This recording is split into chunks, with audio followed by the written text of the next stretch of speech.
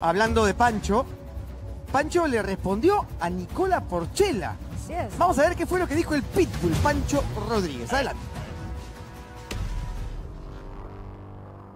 Bueno, acá grabando una historia. Me gusta que hablen de mí.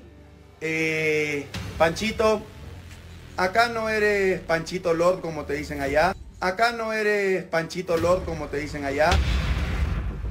Que ya saben cómo es el- su mayor cualidad como competidor es el micrófono, es el micrófono.